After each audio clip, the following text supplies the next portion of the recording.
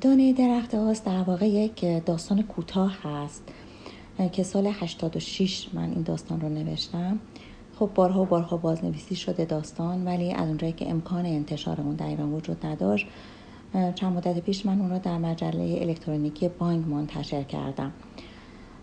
همونطوری که خودتون هم می‌دونین و بهش به خوبی و درستی اشاره کردین عنوان داستان در داستان نیومده و بهش اشاره نشده و این هم خب گاهن معموله. اما از نظر معنا شناختی شاکله داستان و مضمون داستان حلوهوش همین عنوان داره شکل می‌گیره. درخت هاست بر اساس آموزه های قرآنی درختی است که در بهشت می‌روید و به قول معروف شجرتون طیبه هست مثل توبا مثل صدرت المنتها شاخه از این درخت رو یهوه به موسی هدیه می‌کنه و همون اسای موسی هست که معجزات فراوانی به اون منصوب میشه مثل باطل کردن سحر ساهران مثل شکافتن رودنید اما بر اساس آنچه که ما در عهد عتیق می‌بینیم درخت آس درخت جهنمی هست شجرتون خبیسه هست. میوه های آتشینی داره به نام رؤوس شیطان که غذای اهل نار هست.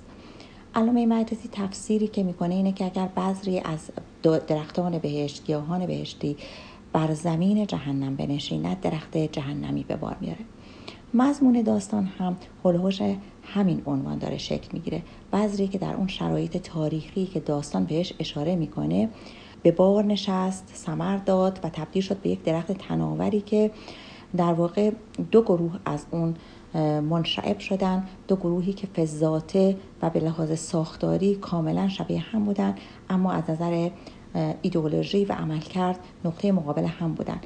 و پایان داستان هم حذف یکی از این دو گروه و بقای گروه دیگری بود که در موضع قدرت بودن. موضوع خیلی از کارهای شما با مرگ مرتبطه. چرا حضور مرگ تو کارهای شما اینقدر پررنگه؟ درست میگید. مرگ یکی از المانهای مهم و پررنگ هست در داستانهای من و بهش زیاد پرداخته میشه. به خاطر این هست که بر اساس تصوری ذهنی من مرگ هرگز بخش جدا شده از زندگی نیست. یعنی چنان نیست که زندگی از حیات شروع بشه و با ممات ختم بشه. اینطور فکر می‌کنم و اینطور برای من متصور شده که شدت تاثیر و تاثیر آدم هایی که شاید امروز حضور فیزیکی فقط ندارن در کنار ما بر ماهایی که فکر می‌کنیم زنده هستیم بیشتر از آدم هایی هست که زنده هستن نفس می‌کشن و راه میرن در کنار ما. ببینید مثلا در داستان بستنی گل یخ شخصیت داستان من یک دختره که روایت زندگیش رو از زبان آدم های اطرافش در روایت زندگی پدرش رو از زبان آدم های مختلف در اطرافش میشنوه.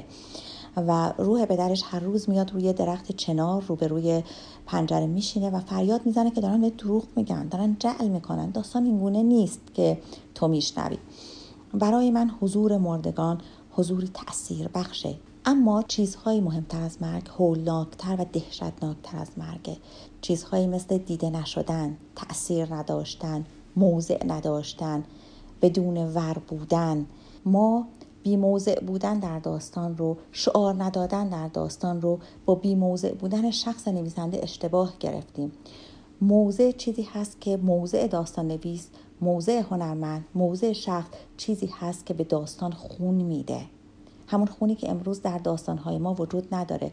اتفاقی که افتاده برای نسل ما به نظر من این اتفاق از چیزهای بی خطر گفتن باعث میشه که ما تاثیر کلاممون رو از دست بدیم. تبدیل بشیم به یک نسلی که در سکوت زندگی می‌کنیم. می‌خوایم با سکوت و با بیتفاوتی حرفامون رو بزنیم. خب و این در واقع ماجرای نوشتن نیست. زبان داستانهای شما ساده است با جمله های کوتاه و سریح چرا با زبانی ساده می نویسید؟ خب واقعیتش رو بخواین چیزی به نام زبان ساده و بیالایش وجود نداره. زبان در ساختار کلیش منظور نظر منه. آنچه که ما به عنوان زبان در یک ساختار کلی می‌شناسیم نمی‌تونه هرگز ساده و سریح باشه. زبان محل سوء تفاهمه. زبان فضاته نمی‌تونه ساده باشه.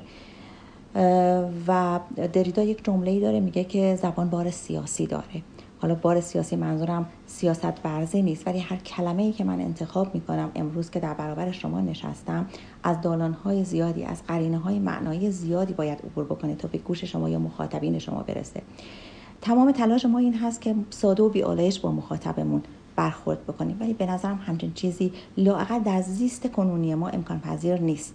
شاید در مکان جغرافیایی دیگری این امکان پذیر باشه ولی برای ما امکان پذیر نیست. شاید به همین دلیله که از قبل از سالهای دهه 60 بسیاری از نویسندگان به حال نامآور ما فرم هایی رو و زبانی رو انتخاب کردن برای بیان آنچه که فکر می‌کردن دقدقشونه آنچه که فکر می‌کردن مهمه.